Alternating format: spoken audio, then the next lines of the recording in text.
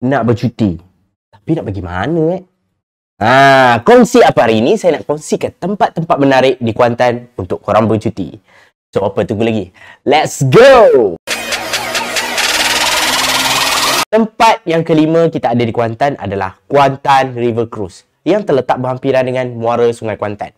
Ha, kalau korang nak menikmati keindahan panorama sungai, so saya sarankan korang untuk pergi Kuantan River Cruise. Ha, jangan berenang pula eh. Dan tempat yang keempat kita ada Museum Seni Pahang.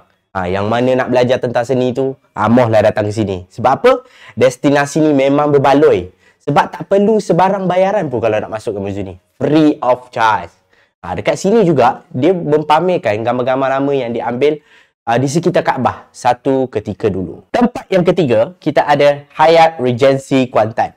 Ha, sebuah destinasi penginapan yang sangat-sangat cantik.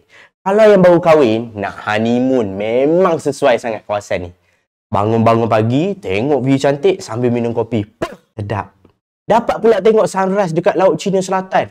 Isteri pula dekat sebelah. Ya Allah, indahnya ciptaan Tuhan. Saya ni yang single, hmm, berangan je lah boleh. Okay.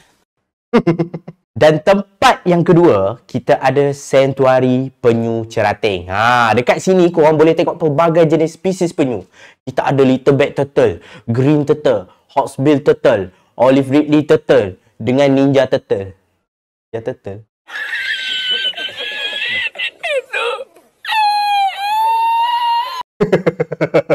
Dan tempat yang pertama, siapa datang Kuantan memang wajib pergi tempat ni.